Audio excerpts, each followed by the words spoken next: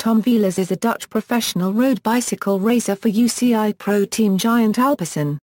Born in Ootmarsum, Overijssel, Veelers won the 2006 edition of U23 Paris Euro Rubex. Palmarès.